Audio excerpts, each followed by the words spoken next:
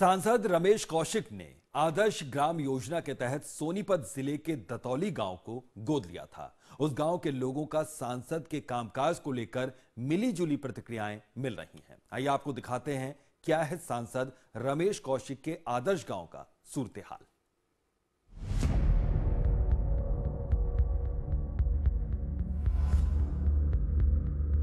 आदर्श गाँव दतौली। 22 नवंबर 2014 को लिया गया गोद ये है गन्नौर विधानसभा क्षेत्र के तहत आने वाला सोनीपत ज़िले का गाँव, दतौली। सोनीपत संसदीय क्षेत्र के अंतर्गत आने वाले 600 गाँवों में से इस गाँव को सांसद रमेश कौशिक ने 22 नवंबर 2014 को गोद लिया था। जिस वक्त सांसद महोदय ने दतौली गाँव को गोद लिया, उस समय उन्होंने इस गाँव के लोगों के साथ बड़े बड़े वादे किए थे। रमेश कौशिक ने दतौली गाँव को गोद लेते समय कई घोषणाएँ की थी। कौशिक ने कहा था कि दतौली गाँव को 2016 तक अत्याधुनिक बनाने के लिए विकसित किया जाएगा। शहरों में मिलने वाली सभी सुविधाएँ इस गाँव में मुहैया होंगी। दतौली को गोद लेते समय सांसद रमेश कौशिक ने आईआईटी बनाने की भी घोषणा की थी। इस गाँव के लोगों की माने तो सांसद ने कुछ काम तो किया है, लेकिन अभी गाँव को विकसित बनाने के लिए बहुत कुछ किया जाना बाकी है। सबसे पहले पूछा जाए चौबीस घंटे लाइट चल रही थी यार हमारी चल रही थी अनाज मंडी। और वह लाइट गई तो गई कहाँ? अब क्यों नहीं है लाइट? सवेरे वह आ जाती है यार रात को सात बजे आती है सामने सबसे बड़ी प्रॉब्लम लाइट की है। पास है जी नाम दतौली गाँव के रहने वाले हैं। तभी उससे खुश हैं संतुष्ट हैं खूब। और कमियाँ जो है जी जब भाई ने कहा ऐसे बिजली की कमी है जी बिजली कम आती है मतलब। ये हमारे गाँव का बोल के न्यारा, ये कोई फीटर के साथ नहीं होनी चाहिए, न्यारी लाइन होनी चाहिए, पावर हाउस में बिजली रहे तो गाँव में भी रहनी चाहिए जी। सब्ज़ी ने वादे किए थे उसके बारे में जो शहर की सबसे बड़ी समस्या थी, सीवरेज और पानी की थी, उसके लिए कुछ ग्रांट आया है, अब जनता को उम्मीद है कि भाई कुछ न कुछ हमारे लिए समस्या का समाधान होगा। यहाँ पर सुचारू रूप से शवर की सफ़ाई नहीं की जा रही है। इसलिए मैं बार बार बार बार उनको इस तरफ़ ध्यान दिलवा रही हूँ कि यहाँ पे शवर की सफाइयाँ सुचारू रूप से की जा सके, कि जिस कारण के यहाँ पे गंदगी ना फैले। रमेश कौशिक ने जिस समय दतौली गाँव को गोद लिया था, उस समय गाँव के लोगों ने मिलकर सांसद के सामने तेरह मांगे पूरी करने का प्रस्ताव भी रखा था। इन प्रस्तावों में आईआईटी स्थापित करवाना, सड़क निर्माण स्कूल में नए कमरों का निर्माण गाँव के साथ गलियों को पक्का करना पानी की निकासी पानी की टंकी का विस्तार और शराब का ठेका गाँव के बाहर करना शामिल था। तो स्कूल में कमरे बनवाए उन्होंने एक एस मंजूर कर भी आई है पानी की टंकी कह रहे हैं बुझानी है वो और लाइट की समस्या है हमारे गाँव में शुरू से। ही रमेश कौशिक ने गाँव गोद लिया है तब से सिवाय स्कूल में जो बिल्डिंग बनी है और बाकी कोई काम नहीं हुआ है। एक साल का वक्त तो कामकाज के लिए बहुत ज़्यादा नहीं होता। फिर भी, इस गाँव के सूरत हाल को देखकर ये कहा जा सकता है कि सांसद रमेश कौशिक का जितना ध्यान अपने आदर्श गाँव के ऊपर होना चाहिए था, उतना ध्यान नहीं रहा।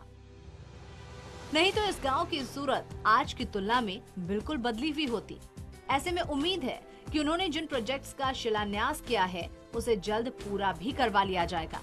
क्योंकि यहाँ के लोगों का तो कहना है कि राजीव गांधी सेवा केंद्र का शिलान्यास होने के बाद अब तक उस पर कोई काम नहीं हुआ।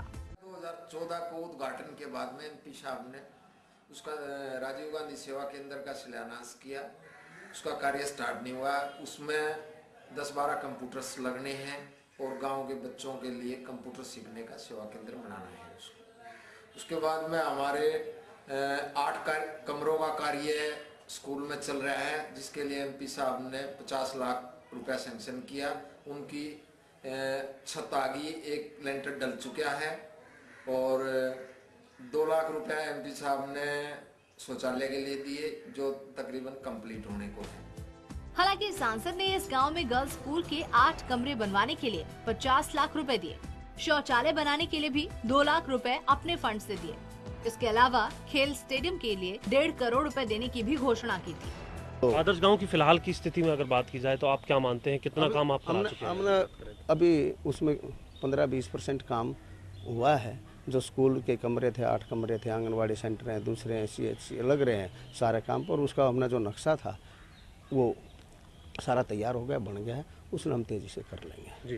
क्या मानते हैं कि पाँच अपना जो आदर्श गाँव है कितने समय में पूर्णतः उसको आदर्श बना देंगे। पूर्णतः हमने दिसंबर 16 तक का टाइम है। लेकिन मेरी कोशिश होगी दो तीन महीने पहले ही उसको हम बना देंगे। पहले पूरा करेंगे। हम जितना बोलेंगे वो करेंगे। झूठ बोलना ना अपना रहा है ना करना है।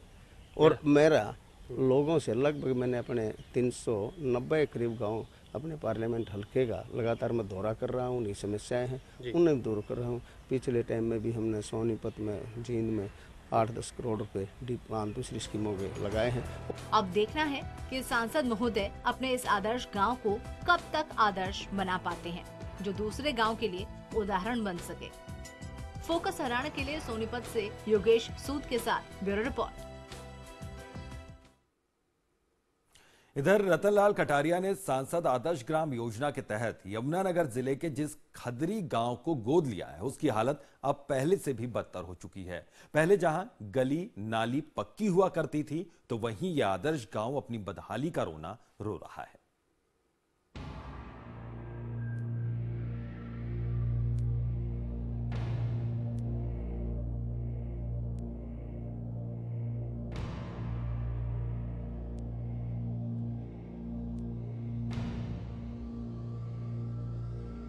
हम इस वक्त उस गाँव में जा रहे हैं यहाँ को अम्बाला के सांसद रतन लाल कटारिया ने गोद लिया है। हालाँकि ये गाँव तो पूरा विकसित है और जिस रास्ते से हम जा रहे हैं, ये खेतों से होता हुआ गाँव तक जाता है। और ऐसे में गाँव के अंदर किस प्रकार का माहौल है, क्या हम वहाँ की गलियाँ या सड़कें पक्की हैं या कच्ची हैं, ये तो हम गाँव में जाके दिखाएँगे। लेकिन फ़िलहाल इस रास्ते की बात कर रहे हैं कि ये जो खेतों से होता हुआ रास्ता है, ये गाँव तक जा रहा है। सांसद आदर्श ग्राम योजना के तहत, क्योंकि हर सांसद को एक गाँव गोद लेने का निर्देश पीएम मोदी की ओर से दिया गया था। लिहाजा अंबाला के सांसद रतन लाल कटारिया ने भी यमुनानगर ज़िले के खदरी गाँव को गोद ले लिया। जब हमने इस गाँव की पड़ताल की तो इस गाँव के बारे में जो कुछ भी पता चला, वो सांसद महोदय की पिछले एक साल की कारगुजारी की पोल पट्टी खोल रहा था। सांसद रतनलाल कटारिया का गाँव गाँव खदरी। हालात क्या है? बाहर से तो अच्छे हैं, लेकिन अंदर का हालात क्या है? आपको दिखाना चाहता हूँ कि जो वो बीपीएल परिवार है, जिनको बीपीएल होना चाहिए था, लेकिन हालात ऐसे हैं कि छतें उनकी कच्ची हैं, कुछ अंदर उनका ये नहीं मालूम कि कब उनकी छत गिर जाए, जबकि इन लोगों को भी एपीएल माना जाता है।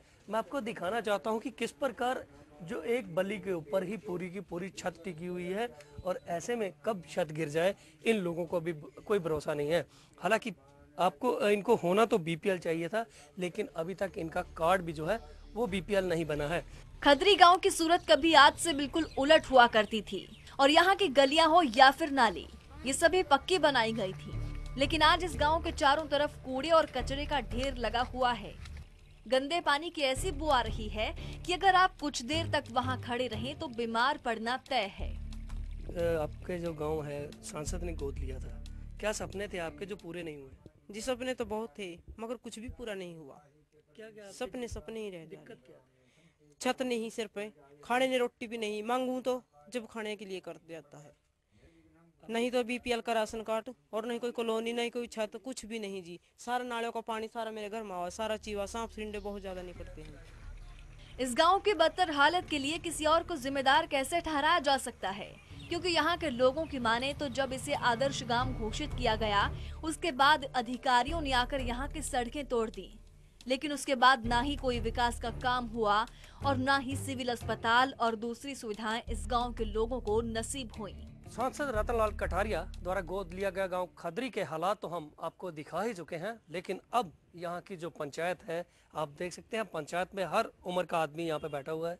इनसे जानते हैं कि गाँव के लिए जो सांसद है, उन्होंने क्या क्या किया था। हालाँकि गोद लेने से पहले कई ऐसे वादे किए गए थे जो सांसद ने इन गाँव वालों को लुभावने सपने दिखाए थे कि गाँव शहर में तब्दील हो जाएगा। लेकिन क्या गाँव में की हकीकत कैसी है गाँव में क्या क्या तब्दीली आई है यहाँ से शुरू करते हैं। आपका क्या कहना है? अभी कोई तब्दीली नहीं आई जी। जैसे पहले था वैसे के वैसे ही है जी। क्या सपना था क्या सोचा था कि सांसद ने? भाई आदर्श को बनागा अस्पताल बनागा और बड़ी बड़ी चीज़ें यहाँ प्रोजेक्ट लगेंगे वो कुछ नहीं अभी तक है। यहाँ के लोगों का कहना है कि इस गाँव में कोई कमी नहीं थी। उसके बावजूद खदरी गाँव को इसीलिए गोद लिया गया क्योंकि एक तो ये गाँव सांसद के पीए भोपाल सिंह खदरी का था और दूसरा इस गाँव में ज़्यादातर लोग भारतीय जनता पार्टी से जुड़े हुए थे। आदर्श गाँव पहले था लेकिन उसके बाद भी जब सांसद ने गाँव गोद लिया है तो कोई तब्दीली नहीं आपका क्या कहना हमारा तो ये कहना जी सौ सौ गज के प्लाटों का वादा किया था गरीब आदमी में थे एक किसी को एक प्लाट नहीं मिला। हमारा तो यही कहना था। यहाँ रही बात प्लॉट की। सौ सौ गज के प्लाट थे एक प्लॉट नहीं मिला है। जबकि सपने ऐसे थे कि हर एक का बीपीएल कार्ड होगा सौ सौ गज के प्लाट होंगे जिनके ऊपर कच्ची छतें हैं उनको पक्की दी जाएँगी। आपका क्या कहना है? हमारे यहाँ तो जी लेटरिंग खड्डे के आए भी लेटरिंग बनवाओ शौचालय मतलब बाहर ना होना चाहिए जी। नहीं खड्डे खुदे पड़े जी ना रेत मिला ना बजरी मिल रहा और असी और जब ना कोई कढ़न दे जी वहाँ ना कोई आन दे रहा। क्या सरकारी शौचालय यहाँ नहीं बनाएँगे? कह तो रही जी बनाओगे कहा पैसे भी देंगे ना कोई पैसे दे रहे ना कोई खड्डे पड़े खुदे घरों में पड़ रहा पानी बरसात का। सांसद महोदय की इस कारगुजारी के चलते ही आज खदरी गाँव और अंबाला संसदीय क्षेत्र की जनता ही नहीं बल्कि उनके विरोधी भी। रतन लाल कटारिया पर लगातार निशाना साध रहे हैं। यहाँ के जो पूर्व विधायक हैं बिल्कुल सात गाँव सटा हुआ है। इस गाँव की देखरेख भी करते हैं। अर्जुन सिंह जी आज ये जो गाँव सांसद ने गोद लिया था आपका क्या कहना है इस गाँव में कि पहले के हालात क्या थे और अब कैसे हैं? पहले भी इसमें काफ़ी काम हुआ है गाँव में।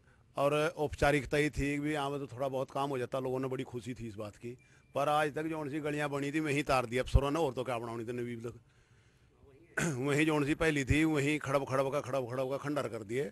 और आज तक एक भी ऐसा भी नहीं इतना भी मतलब काम शुरू होया। पर चलो हम तो जो कहा भी बन यार प्रशासन काम करागा टाइम तो लगी जा थोड़ा बहुत पर शुरू तो करना चाहिए था अभी तक। क्या क्या सपने क्या क्या दिखाए थे? क्या क्या बने? यहाँ बिजली बोर्ड का भी वो कहा था भी वो भी बनागा आई बनेगी अस्पताल बनागा यहाँ सौ बेडों का। मेरे ख्याल में तो बैठिए जो यहाँ पड़े थे उन्हें बिठा लेगा कोई।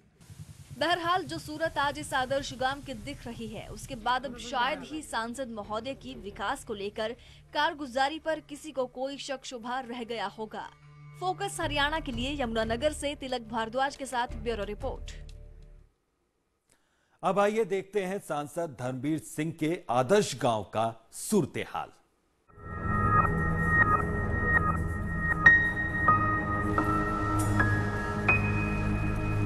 दौगड़ा अहीर गाँव, महेंद्रगढ़।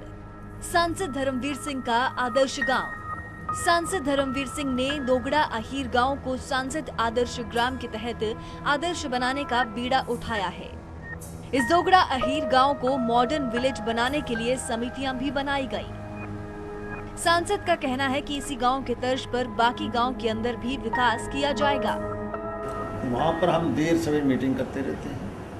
डिस्ट्रिक्ट एडमिनिस्ट्रेशन की मीटिंग करके वो सारी मूलभूत सभी सुविधाएँ हेल्थ की एजुकेशन की कनेक्टिविटी में रोड चाहे वो बी एंड आर है मार्केटिंग बोर्ड है, गाँव का खुद का डेवलपमेंट है, कोई खेल की बात है, कहीं एजुकेशन का मामला है, वो सारी की सारी हम मूलभूत जो आवश्यकता है, उस गाँव को एक ऐसा मॉडल बनाना चाहते हैं जहाँ ना कोई शराबी हो, ना कि उस गाँव के केस कोई पुलिस में बने, भाईचारा मज़बूत हो एक मॉडल विलेज जिसमें एक अलग से गाँव दिखाई दे।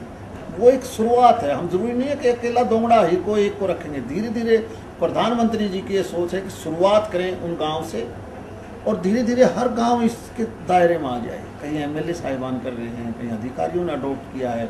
मैं विश्वास दिलाता हूँ कि हम हरियाणा में सबसे अच्छा गाँव एक बार बना के दिखाएँगे, उसके बाद दूसरे गाँव को भी लिया जाएगा हालाँकि आदर्श ग्राम के तहत धर्मवीर ने भले ही इस गाँव को गोद ले लिया हो, लेकिन अभी उस गाँव में काफ़ी कुछ खामियाँ हैं। और अभी ये एक साधारण गाँव की तरह ही दिख रहा है। कई मूलभूत समस्याओं से जूझ रहे इस गाँव को आदर्श बनाने के लिए अभी काफ़ी प्रयास करने की ज़रूरत है। ऐसे में देखना है कि कब तक इस गाँव की सूरत बदलती है। इतना ही नहीं, सांसद की ओर से विकास के काम को लेकर लाख दावे किए जा रहे हों। लेकिन हकीकत यही है कि धर्मवीर अपने काम को लेकर कम और अपनी बयानबाजी और दूसरी चीज़ों को लेकर ज़्यादा मीडिया की सुर्खियों में रहे हैं। फोकस हरियाणा के लिए भिवानी से कृष्ण सिंह और महेंद्रगढ़ से भालिंद्र यादव के साथ ब्यूरो रिपोर्ट। तो फ़िलहाल इस खास पेशकश में इतना ही। मुझे दीजिए इजाज़त। नमस्कार।